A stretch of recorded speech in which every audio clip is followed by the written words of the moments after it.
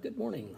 This is Pentecost Sunday, and uh, we are wrapping up, since this is the 31st of May, we're wrapping up this quarter's lessons.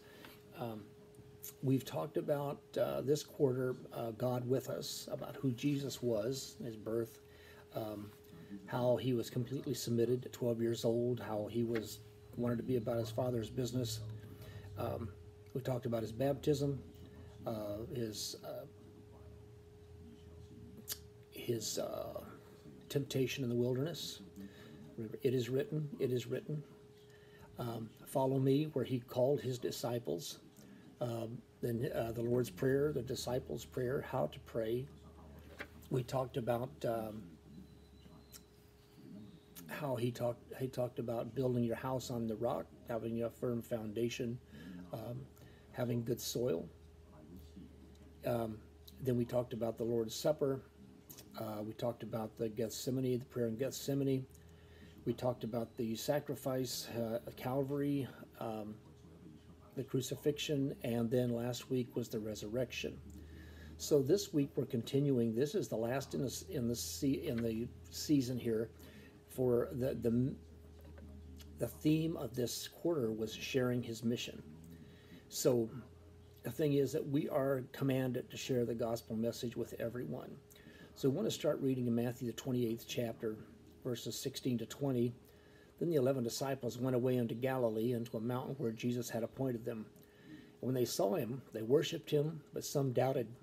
And Jesus came and spake unto them, saying, All power is given unto me in heaven and in earth. Go ye therefore and teach all nations. Uh, the Amplified, and I think the New King James or the NIV or whatever also says make disciples instead of teach. Um, baptizing them in the name of the Father and of the Son and of the Holy Ghost. Now, if you diagram that out as a, as a sentence, you'll see that you're supposed to baptize in the name, the name of the Father, Son, the Holy Ghost, which was Jesus. Jesus said, I'm come in my Father's name. He said he would send the Holy Ghost back in his name. Uh, Jesus is the only name under heaven given among men whereby we must be saved, according to Acts 4 and 12. So then it says in verse 20, teaching them to observe all things whatsoever I've commanded you. And lo, I am with you always, even unto the end of the world. And we'll talk about that toward the end here. And he says, Amen. And this was the end of end of Matthew's. And Mark 16, 15 to 16, he said unto them, Go ye into all the world and preach the gospel to every creature. He that believeth and is baptized shall be saved, but he that believeth not shall be damned in uh, the Gospel of Luke, chapter 24, verses 46 and 47. And he said, And said unto them, Thus it is written, and thus it behooved Christ to suffer and to rise from the dead the third day, and that repentance and remission of sins should be preached in his name among all nations, beginning at Jerusalem.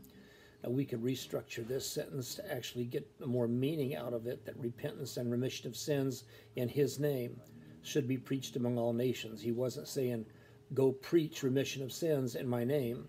He was saying, preach remission of sins in my name. So we know that uh, in Acts 2 and 38 that uh, Peter told them in the plan of salvation to repent and be baptized in the name of Jesus for the remission of sins. And that is how your sins are remitted. So that is how that works. Then he said, beginning at Jerusalem. And then in Acts 1 and 8, again, Luke's, Luke's uh, rendering of this, this time uh, just before Jesus uh, ascended. But ye shall receive power after that the Holy Ghost has come upon you.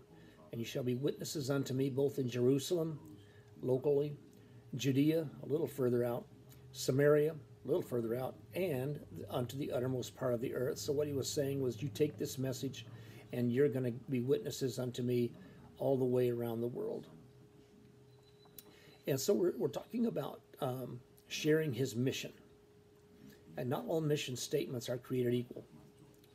Um, corporate bigwigs hire other bigwigs to brainstorm around a conference room table and, and devise the perfect um, little pithy mission statement for their company. And it'll be marching orders. The marching orders that the that how that the um, the company does business by. Now, some are excellent and some could use a little work. Avon's mission statement about 249 words, and includes six core aspirations. So we're looking at about maybe 229 words too long. Albertsons exists, quote, to create a shopping experience that pleases our customers, a workplace that creates opportunities and a great working environment for our associates, and a business that achieves financial success. Now, the, their word count is a little better, but those 29 words don't tell us if Albertsons sells tires or oil or drinking straws or, you know, manufactures whatever, but Albertsons is a grocery store chain. Jesus would have made the big wigs proud. His mission is his mission statement is real specific. It's short, it's easy to remember. Go into all the world and preach the gospel to every creature. That's that's pretty direct. His mission statement tells us to go everywhere and tell everyone. He doesn't tell us to sort them out. He doesn't tell us to pick and choose. He just says to go and tell. He's called us to go into all the world and make disciples. So the next time you wonder what God created you to do, remember these short verses at the end of the Gospels go and make disciples. Jesus gave his life to give his church this mission. Jesus came to seek and to save that which was lost, according to Luke 19 and 10. Now, Jesus came to bring reconciliation to God and man. In 2 Corinthians 5, verses 17 to 21 says, Therefore, if any man be in Christ, he is a new creature. Old things are passed away, behold, all things have become new. And all things are of God, who hath reconciled us to himself by Jesus Christ, and hath given to us the ministry of reconciliation to wit, that God was in Christ, reconciling the world unto himself, not imparting their trespasses unto them, and hath committed unto us the word of reconciliation. Now then, we are ambassadors for Christ, as though God did beseech you by us. We pray that as in Christ's stead, be ye reconciled to God. For he hath made him to be sin for us, who knew no sin, that we might be made the righteousness of God in him. So this mission of Jesus motivated everything he did. It was his father's business, as we we learned about about three months ago, in uh, when he was 12 years old. I must be about my father's business. The Bible is clear that the lost were never far from the mind of Jesus. He didn't come for popularity. Um, he didn't come to establish an earthly kingdom or to live in luxury. He came to save the lost. But how was Jesus going to achieve the seeking and the saving. The Bible indicates that Jesus knew uh, that to achieve his mission, he would have to suffer and die on the cross. If you want to read John 2, verses 19 to 22, he, he knew what this was about. He knew why he was here. This opened the door for anyone, anywhere to be saved. On the cross, Jesus fulfilled the righteous requirements of the law, according to Ephesians 2, verses 14 to 16. We're not going to read those. In Colossians 2, verses 13 to 14. to use a common analogy, this the cross is the bridge over the chasm between us and God. But to carry that analogy one step further, we don't have the power to walk over the bridge. To walk the chasm that's bridged by the cross, we have to have power. And this is where the Holy Spirit, the Holy Ghost, um, impacts us. Now, John the Baptist prophesied that Jesus would baptize with the Holy Ghost. And as a connecting prophet between the Old and New Testaments, John the Baptist connected the message of God's prophets to the backslidden nation of Israel with the ministry of Jesus. His ministry was to preach repentance and to baptize those who responded to the call of God on their hearts. He said, I indeed baptize you with water unto repentance.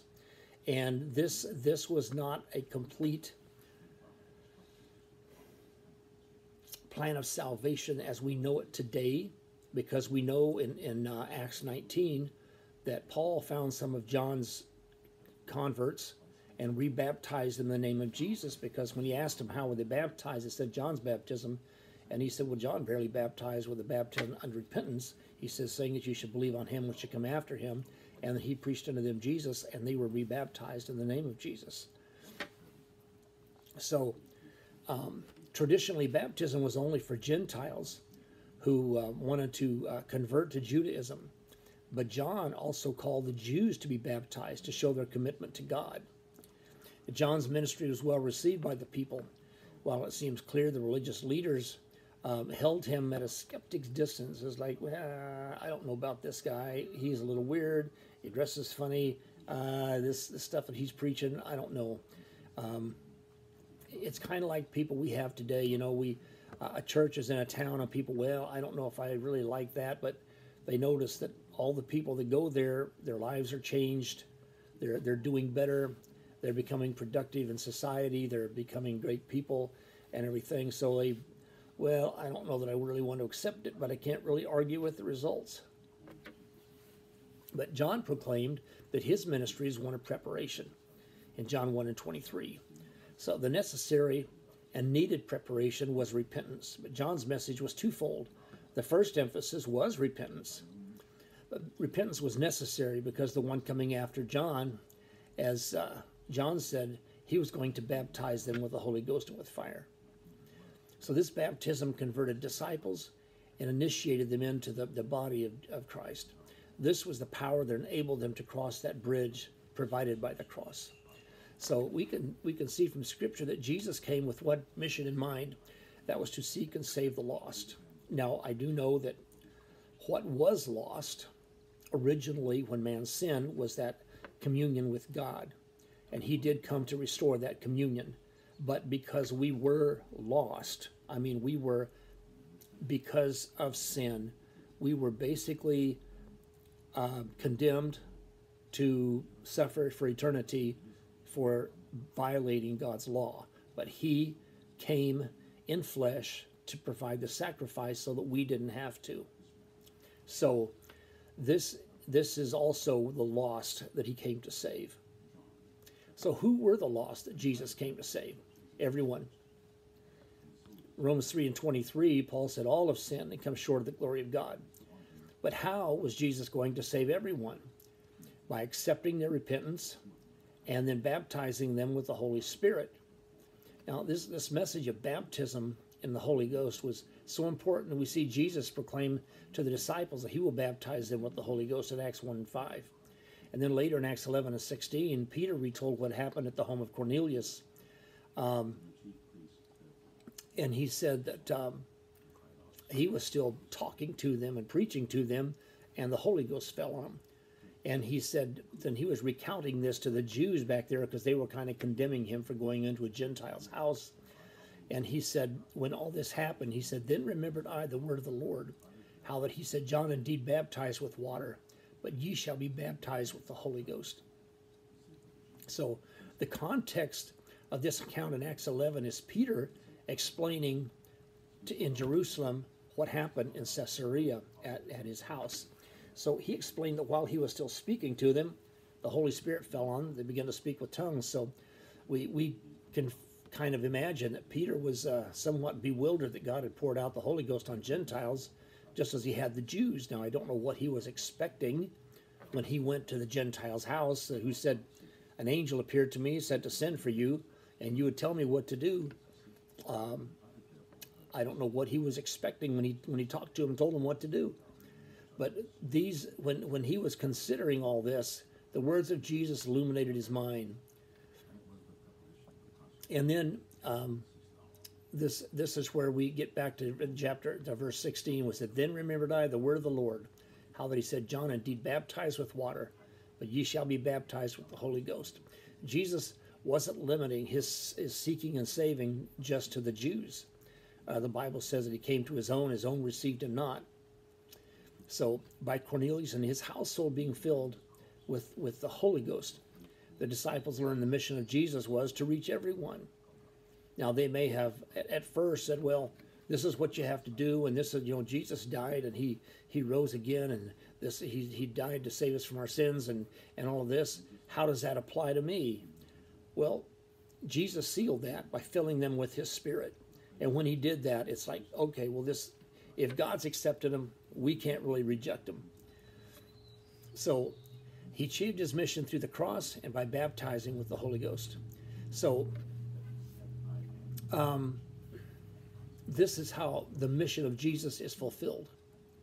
When someone obeys the gospel through repentance, baptism in Jesus' name, and receiving the gift of the Holy Ghost. just as easy as one, two, three, or ABC, however you want to do it. In Luke 14, verses 16 to 22, this, there's a record there of a day that Jesus went to a synagogue in Nazareth on the Sabbath. Uh, Bible scholars are unsure of when the synagogue became prominent in in, uh, in, Judaism, but it's clear that by the time by the time of Jesus, it was accepted. It was an accepted form of, of covenant continuity and worship. Now, as the Jewish people um, became subjects of other nations and weren't able to practice worship as freely as, as they did at the temple, synagogues became important. Uh, Jesus went to a synagogue as a boy. Some scholars uh, think that he attended the same one as a child uh, that he went to, uh, that we that we read about here in Luke four in uh, chapter four.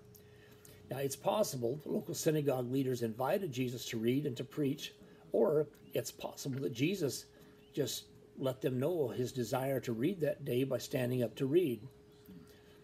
And Luke 4 and 16, um, well, you can read that. We'll, we'll go on to 17 in a minute. But whether he was invited to speak or he took the initiative himself, one thing is clear when the law or the prophets were read, the reader would stand, and then after reading, was customary for the speaker to sit down while teaching or preaching. This is kind of like we do in church sometimes. You know, we, we stand for the reading of the text and then we sit down to, to, to listen to the explanations and, and the uh, affirmations and, and everything about, about what was just read. But this is what Jesus did. Luke 4 and 17 says, And there was delivered unto him the book of the prophet Isaiah. When he'd opened the book, he found the place where it was written. Now, some suggest that the synagogue was ordered according to a lectionary calendar and this particular reading was the reading assigned for the day when Jesus arrived. But the wording of the text seems to indicate this is not the case. Luke says that Jesus found the place where it was written. So I don't know if there was some divine intervention here that caused him to give him the book of Isaiah, but uh, he was he was prepared. Um, this is, uh, you know, the Bible talks about being instant in season, out of season. Jesus was instant in season, out of season. Um, give it to me. I'm going to read from this, and then he goes. So he stood up and he read from Isaiah 61, verses 1 and 2, where the prophet prophesied about the coming Messiah and his anointing. It said, The Spirit of the Lord is upon me, because he hath anointed me to preach the gospel to the poor. He hath sent me to heal the brokenhearted, to preach deliverance to the captives, and recovering of sight to the blind, to set at liberty them that are bruised to preach the acceptable year of the Lord. Now, Jesus referred here to his anointing that occurred at his baptism. In his ministry, Jesus was an anointed man of God. Now, it seems clear that Jesus understood his anointing by God as power for his ministry. But Jesus is unique because all the fullness of the Godhead dwelt in him bodily. This is what Colossians 2 and 9 says. But as a man, he needed the anointing of God to accomplish his ministry. Now, from a human perspective, this might seem unnecessary. After all, Jesus is fully man and fully God. So, why would he need anointing from God to perform his ministry? Couldn't he just simply do it as the mighty God in Christ? Well, he could have done it that way, but that wouldn't have been consistent with the incarnation. God created Jesus as both fully human and fully divine. Uh, one example is the way Jesus helped John the Baptist understand the importance of uh, him being baptized. He was baptized not because of sin, but as it says in Matthew 3 and 15, to fulfill all righteousness. So, in a similar way, Jesus, as a man, was anointed by God to perform his ministry. Now, this, this is an example to us as believers, and, that, and that's the point. Uh, sometimes you may you may find when you're witnessing to someone or talking to someone about God that you you start feeling the anointing of God helping you and bringing scriptures to you and and giving you words to say. But Jesus told the crowd that day that he was God's anointed one to do the work of the kingdom. And then he, he also said that that scripture was filled today in their hearing. And so by this, Jesus indicated that the long wait for the Messiah was over. He was there preaching to the poor, healing the brokenhearted, proclaiming liberty to the captives, and recovering of sight to the blind. All these things were now available. Now, disciples of Jesus have to know that to be effective in the work of reaching the lost, the anointing of God is essential. Otherwise, you're just you're just out there trying to get people to join a club.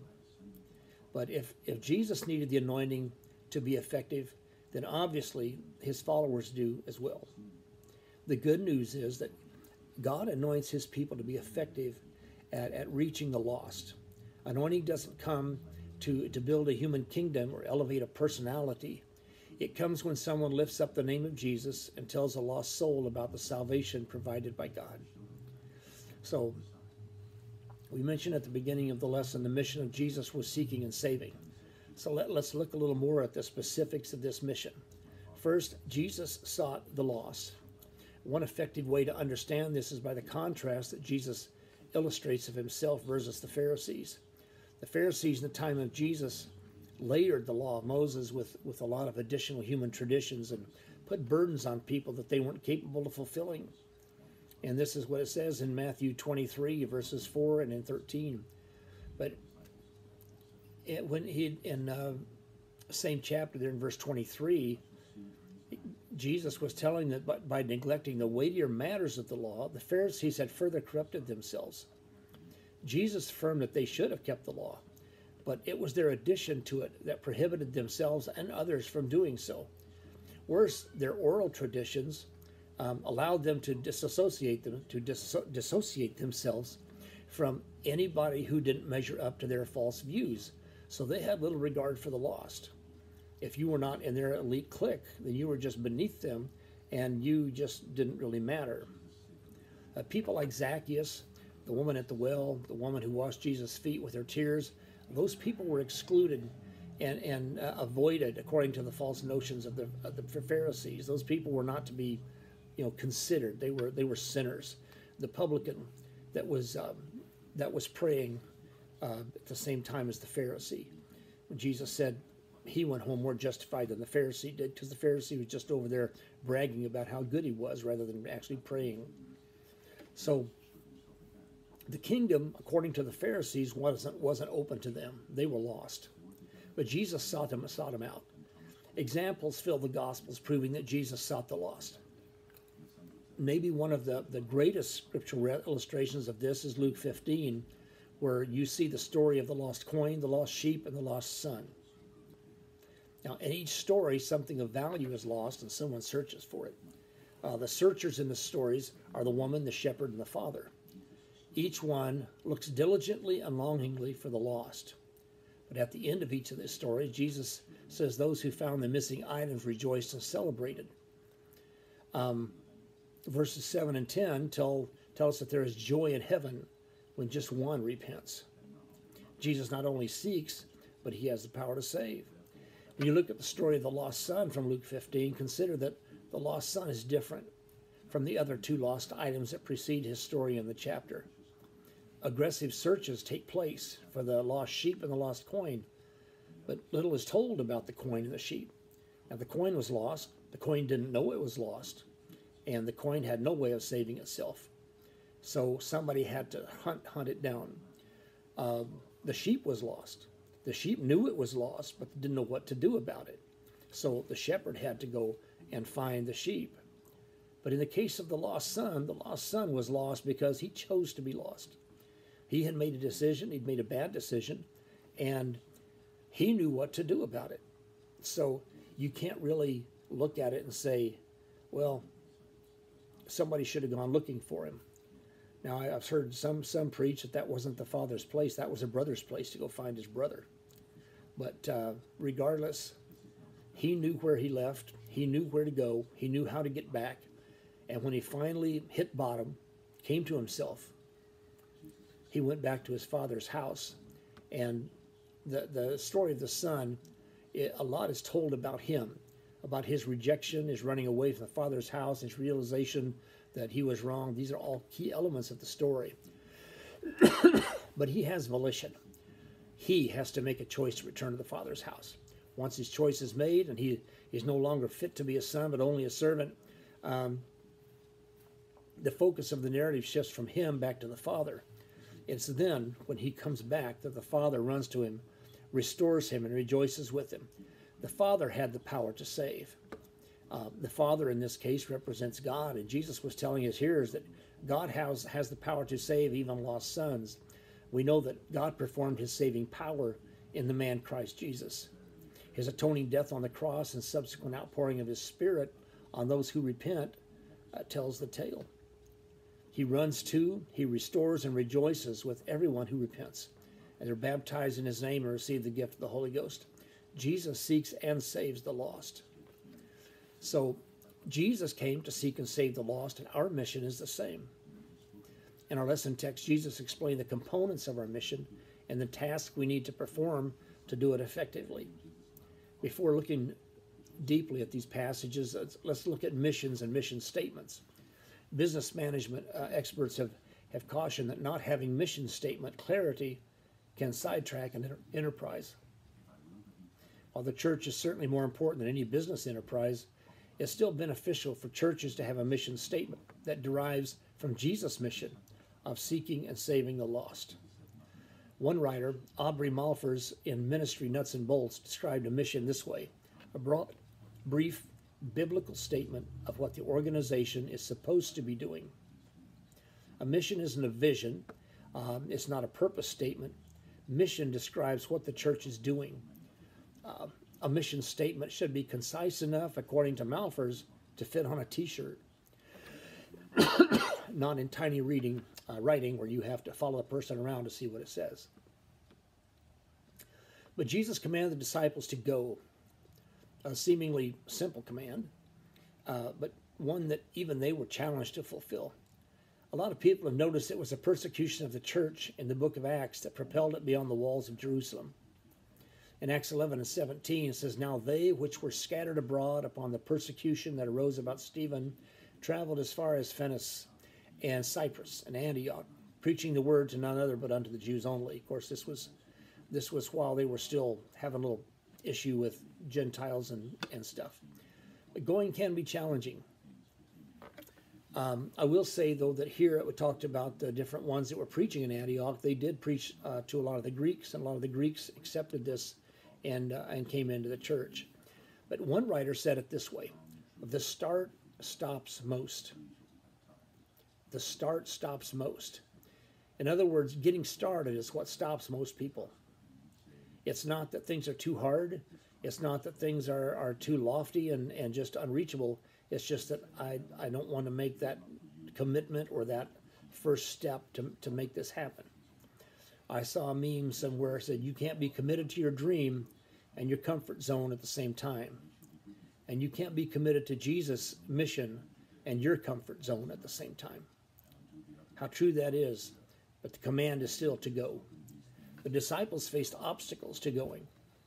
Uh, initially, the Romans regarded them as a sect of Judaism and treated them in similar ways, but the disciples faced persecution from the Jews very early on. I mean, it wasn't the Romans that stoned Stephen. Eventually, the Romans persecuted the church as well. The threat of persecution was a significant obstacle, but the leaders of the church weren't discouraged. It didn't stop them. Um, after they were persecuted and told, you don't preach this anymore, they went back and, and prayed for more boldness and were thankful that they were able to, to be in this capacity that God would allow them to be persecuted and, and, and cast down or whatever you want to call it for his name. That they received the mission from Jesus and they moved forward in faith. Um, we, we too have obstacles. Uh, the church will always be opposed by the world, by the flesh, and by the devil. But the command is the same as it was to them still go. When disciples focus on the challenges, they lose faith. But when they focus on God's word, they're invigorated. Yeah, one of the things that read in Brother um, Brother Willoughby's book about the restricted zone, he said that when he shared his vision for Singapore, people gave to the mission. They gave to support the work. When he just talked about the need, this needs to be done and we need to do this, we need to do that. People just look at his need and their need and said, you know, well, I, I, I wish I could help you out more, that this is all I can do. But when he shared his vision and he shared the dream he had, um, just like sharing this mission here, it, it invigorates people say, I want to be a part of that. I want to give. I want to make this happen. And that's how we need to look at the mission that Jesus left here. So going is essential. Um, what's done as a person goes is just as important as going. I remember in, in the uh, in the Old Testament when there was a uh, there was a big fight going on. This is when um, Absalom had revolted against David, and uh, Joab was out in the battle, and all this was going on, and and um, he he sent he sent uh, I think it might have been his brother I don't remember, but he sent he sent a runner to go back and tell David the results and what had happened with the war. And um, another guy was there, and he "He's I'm, I'm a faster runner." He said, "Let me go, let me go, let me go." And he says, "No." He says, "You you can go another time, another day." But right now, he, he's got the message and he's going to go. Well, I, I, let me go, let me go. Finally, goes, okay, run. He took off. He passed the other guy. He got there first, come running up to David, and David said, What happened? Well, I don't know, but I saw a great tumult. Well, that was a big help. He says, Would you stand by over here let's see what the man, next man has to say. The other one came with the, with the message, what had happened, the results, the, the, the, uh, the enemy had been defeated, and actually David's son had been killed. But sometimes, you know, it's, it's just as important to have something when you get where you're going than it is to actually go. The disciples left Jerusalem. They proclaimed the gospel. They didn't have beautiful church buildings where they could gather. They didn't sing worship songs and proclaim the word of God in a in a, in a building like like we have in in uh, in this day and age. Um, they simply told people that Jesus died, was buried, rose again the third day, and let people know what they had to do to make it to heaven. You look at 1 Corinthians 15, verses 1 to 4. This is, this is what we're supposed to be telling people about, about Jesus. The first church met in homes for worship and preaching, but the preaching of the gospel also took place in a lot of other locations. In Acts uh, 16 and 13, Luke wrote that on the Sabbath day they went out of the city of Philippi by riverside and this is where Lydia, the seller of purple, this is where she was converted. In Acts 17 and 22, Paul preached on Mars Hill in Athens to the Areopagus. Um, they, they just preached wherever they could. So the disciples lived in a world with, with many religions. Their world was pluralistic. Various religions were celebrated, but none claimed preeminence. Everybody just kind of, it was the, you know, tolerate everybody else type of thing until it came to Christianity, and then everybody was like, oh, you can't do that kind of like some of people are doing today. But theirs was a deeply immoral society with little or no sense of decency, kind of like where our culture seems to be headed right now. Immorality was publicly displayed in practice as well as the worship of idols. But still, the disciples preached the gospel. They told the good news of Jesus, and God confirmed his word. For those whose temperaments are introverted, preaching the gospel can, can be challenging. Some suggest practicing telling what the Lord has done for you uh, practice telling your, your testimony of what God's done in your life to others others in the church, and uh, so that you're comfortable with talking about it.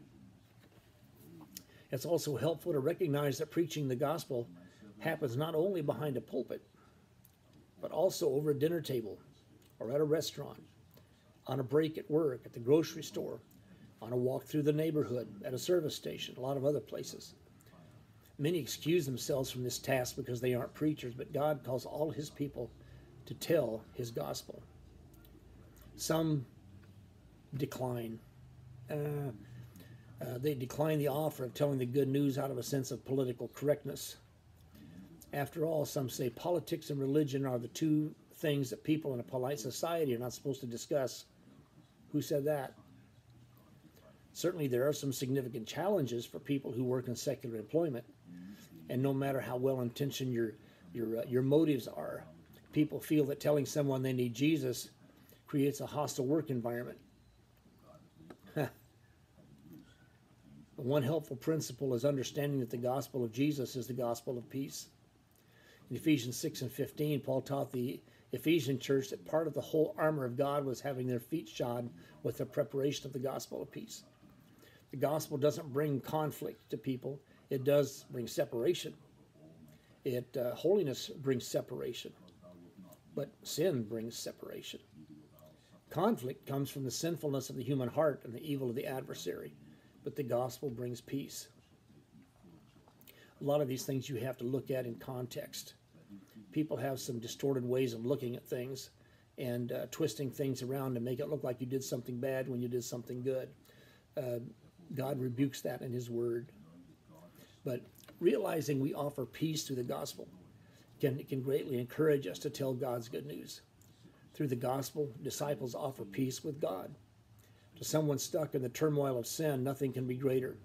The main problem is that most people don't accept that their answer is Jesus or that their answer is the, the gospel of peace, Jesus' gospel of peace and the death, burial, resurrection, how to get to heaven. Uh, a lot of people just think, well, it's, that's just another, it's just another religion, but that's not the case. And Jesus commanded the, his disciples to baptize in his name. Mark 16 and 16, again, we, we have this in our, in our text at the beginning. He that believeth and is baptized shall be saved. Baptism is an essential part of salvation. Repentance and water baptism together complete the full work of forgiveness.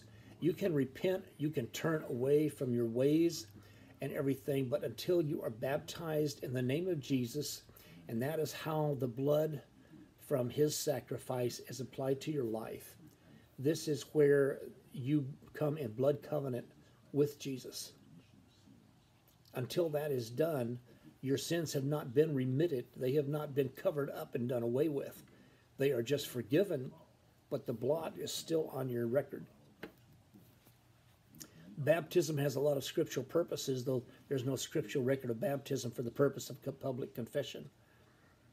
Romans 6 and 4 says that we're buried with him by baptism into death, that like as Christ was raised up from the dead by the glory of the Father, even so we also should walk in newness of life. Um, baptism uh, serves as a spiritual circumcision of the heart. Uh, the blood, the blood uh, covenant that the Jews had with Christ or with, with, with God in the Old Testament was, was a circumcision. In Colossians 2 11 to 12, baptism does that. Now, Jesus commanded his disciples to baptize, and they obeyed. Um, remember that baptism is not works, baptism is obedience. God tells you to do something, you can't just say, Well, that'd be works, so I can't do it because I'm not saved by works. Well, you're saved by obedience. If you're not going to obey God, you're not going to make it. It's just impossible to, to do that. Disciples of Jesus today will baptize those who desire to be saved from their sins. Churches fulfilling the mission of Jesus are baptizing people just like the apostles did in the book of Acts by submersion and in the name of Jesus. Sprinkling is not baptism, it's sprinkling. Baptism from baptizo means to cover, to immerse, to bury. So you can't do that with a few sprinkles of water or dribbling some or smearing some on. That's just not going to get the work done. If we're buried with Him baptism, then we need to be buried in water in Jesus' name. Now, through His earthly ministry, Jesus gave the pattern. Now the disciples too were responsible to, to spread His love and grow His kingdom. In Matthew 28, verses 18 to 20, Jesus told the disciples that all authority, all authority in heaven and on earth had been given to him. This is further proof that he would enable them to fulfill the task and no obstacle could stop them. Now, when commissioning them to go, Jesus told them to go and teach because all authority belonged to him. You go back and read those, read all those verses together. The disciples weren't going forth to teach and make disciples in their own authority. They went on Jesus' authority. Uh, they were commanded to teach, make disciples, and baptize because all authority belonged to Jesus. Now, one of the overlooked uh, passages or portions of this passage is, is that final clause in Matthew 28 and 20. Jesus said, I am with you always, even unto the end of the world. Now, most Christians want the presence of God and even claim it as a promise from the Bible, but it's important to note the context of Scripture here, just like in a lot of other places, when the promise of God's presence is given here. Um, for example, God promised Moses he would be with him in Exodus 3, but that promise of presence was contingent on Moses doing what God was calling him to do. And this passage is very similar. God conveys his abiding presence to those who abide in him and do his will. So those that claim to follow him but don't abide in him or do his will can't really expect God to be with them in the same way that he is with those who are actually abiding in him and doing his will. Churches do a lot of things, and a lot of those things are, are very important uh, feeding feeding the hungry and and doing those things are, are great but you can have a full stomach and still go to hell. So it, the most important thing that we can do for people is is never lose sight of the truth that our reason for existence is to glorify God and make disciples. People can have a lot of things and still not make it to heaven. So we need to we need to concentrate on, as Brother Woodward says, the good part. We, we've got to get people to the point where they have a relationship with Jesus. So let's not become sidetracked or distracted with the, with the cares of this life and lose our commitment to our, our true purpose and mission. If Jesus came to seek and save the lost, as his disciples, we're called to do the same. We have that same ministry of reconciliation, reconciling the world to Jesus. Now, starting next week, we're going to be starting a new series on God is faithful. Um, some people can't be counted on. Maybe that's why it's refreshing to find people who, who actually do what they say they'll do. But if we're honest with ourselves, no matter how many times we do come through on our word, there are going to be moments in time when our promise to do a particular thing will end in disappointment because just situations, circumstances beyond our control, things things happen that we just can't we just can't have any control over, and they they block us from getting something accomplished that we were trying to get done, and we told somebody we would do. Why does that happen? Well, because we're humans. We have limitations. We aren't able to control every circumstance and situation we face. So, no matter how faithful we want to be, um, our humanity is going to fail us at times. On the eve of Jesus' rest in the Garden of Gethsemane, Jesus told his disciples that before the night was over, they'd all be offended. Peter said, Well, everybody else might, but not me. I mean, I'm, I'm Peter. So um, Jesus told Peter that before the rooster crows twice in the morning, you're going to deny me three times. And when he heard this, Mark 14 and 31 says that Peter spake the more vehemently, If I should die with thee, I will not deny thee in any wise. He insisted not only would he not deny Jesus, but he'd die for him if it came to that. Only a few short hours later, Peter found himself in a situation he had never anticipated. The pressure around him began to build, and his, the heat was turned up. And as he stood by the, the fire and tried to deflect the questions and the stuff, people gathered around him in the courtyard. You know, I think you're, you're one of the guys who was with him. In a moment of weakness, Peter denied he even knew who Jesus was. And at that third and final denial was punctuated with profanity, only seconds before the sound of the crowing rooster brought him to his senses. In his moment of weakness, Peter's faithfulness faded. But when the Bible tells us God is faithful, we can be certain of this. When pressure squeezed Jesus, he was faithful.